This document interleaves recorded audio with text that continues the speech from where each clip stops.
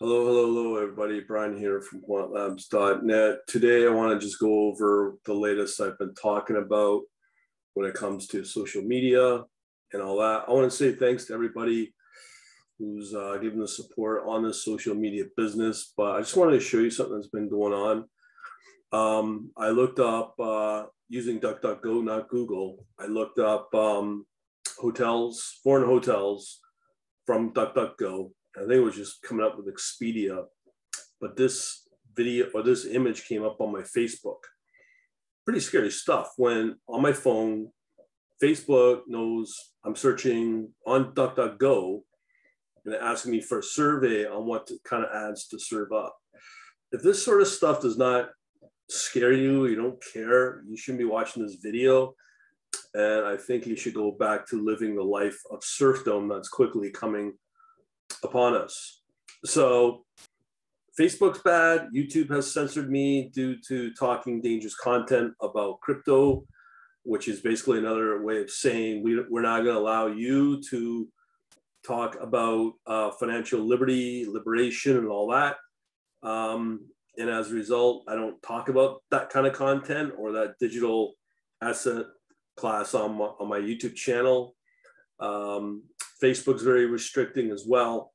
So uh, yesterday I put out a blurb about uh, putting all my social contact, all my social contact on my own. It's not really my own technology, but third party uh, technology that I own, I kind of own and control on a chat server that I've kind of promoted here and there. And um, to be honest, uh, it's the best place to be because there's no logging, no tracking, no third party, nothing. People can uh, come in anonymously, sign up, talk freely, and not have to worry about uh, being uh, tracked, as I said. So I've opened up Rumble, uh, Telegram, Discord, and at the same time, I'm just not getting the engagement I'd like to see on those networks. Plus, I'm now starting to think that both Telegram and Discord are part of this fix. So I said, you know what, it's time to get off. No more wasting time. Just put it all in one resource for everybody that's interested in what, what I'm doing, build up a community out of this. And that's what I'm going to do. So I just want to put out a response on this topic. And uh, here's some of those uh, from uh, customers, uh, from customers to be regular contacts, this is really important because it goes to show this is not a democratic thing.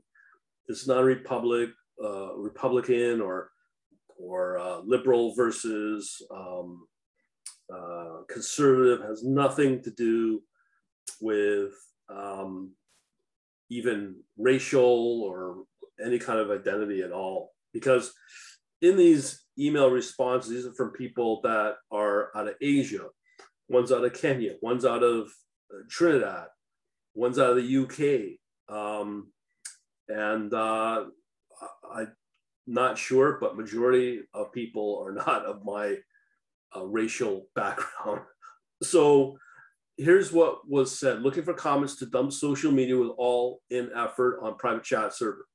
Let me know what you think by responding to this email. See my video on this topic. So again, uh, I kind of put it up freely and uh, these are the responses I got. I'll come back to this one.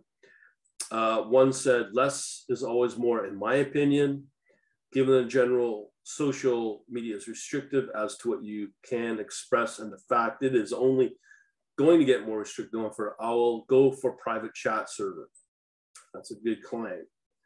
I think that it would be easier to stay abreast of all information if it was centrally located on the chat server. Babing.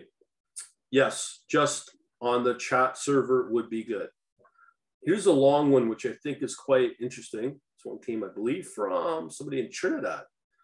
And it's been following me for a while. Thank you, everyone, for responding to this. So, again, these are not political, it's not social. This is just based upon people's privacy, uh, liberation, and so on.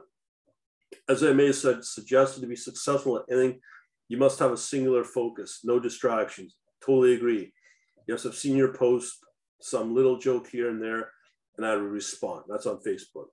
However, one of the things I've seen happen would be folks sending me links to potentially useful stuff in Facebook or in Facebook groups, and that may have something of value. So you're not going to be avoiding social media there. Also, sometimes things may not go your way, and my advice, and it's secondhand, is to find other interests. You get stuck, you will need to get your mind off things for a while, but you may find yourself in social media again. This has to be proven because that is very true. It's like a drug. So you need to balance the things that you're doing. Also, you want to uh, be fanatically against the social media thing because that will be uh, will require effort. Let your direction naturally make it disappear somehow. So there's a reference to um, can't remember the guy's name, but whatever it is, oh Tim Ferriss, how to master any skill and completely change your life. So essentially, what drives me on uh, social media is generally um, fishing for um, email opt-ins organically. So that's the reason why I'm on on these platforms.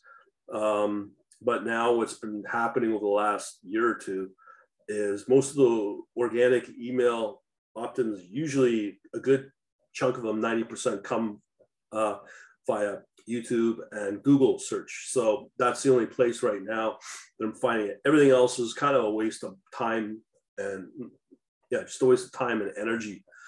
So as a result, um, I'm going to be. It's all about where where those opt-ins come from for email. Obviously, that's how you grow a business. So um, as it stands right now, uh, with the chat server, I'm looking at some technical stuff, uh, what can be done, what cannot be done. Um, so I'll be peeling back my interest in everything social media wise. Hopefully, this will start happening in a few weeks and uh, get myself off of this scourge. As I said, I'm just really sick of having this sort of thing, like kind of in your face based upon what you search. Uh, just it's just as bad, and and that's just what the data that they're collecting on what you think they're collecting, let alone other things. I've read how uh, the current U.S. administration wants to uh, uh, censor your text messaging in real time for, so that they know that you're not talking about the global sickness and all the, the medication or well you know what i'm saying i'm just saying that to avoid getting censored but living in that kind of world is pretty sickening and as long as we participate in it we just perpetuate that problem further. So the more people that disengage from it the better. Um, but unfortunately there i'd say 98% of the population are virtually dumb and morons really because they, they either argue it or just don't see it. And i'm one of them because i'm kind of technical and i do the marketing aspect as well. So i know what's going on. So i'm truly trying to get off of this stuff and as a result um, hopefully i can find ways to circumvent opt-in email opt-ins via marketing on places like i don't know dare i say microsoft ads or other sources that I, I, I can look at uh, if you know of any, let me know. Um, but thanks for watching. And uh, this is this is why I'm how everything's going like this. We'll talk to you later. Thanks.